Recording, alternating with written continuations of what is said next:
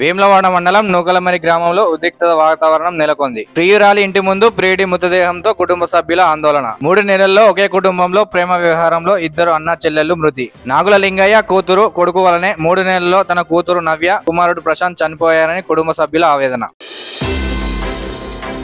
వేములవాడ మండలం నూకలమరి గ్రామంలో ఉద్రిక్త వాతావరణం నెలకొంది. ప్రియురాలి ఇంటి ముందు ప్రియుడి మృతదేహంతో కుటుంబ సభ్యుల ఆందోళన. మూడు నెలల్లో ఒకే కుటుంబంలో ప్రేమ వ్యవహారంలో ఇద్దరు అన్న చెల్లెళ్ళు మృతి. నాగుల లింగయ్య కూతురు కొడుకు వలనే మూడు నెలల్లో తన కూతురు నవ్య కుమారుడు ప్రశాంత్ చనిపోయారని కుటుంబ సభ్యుల ఆవేదన.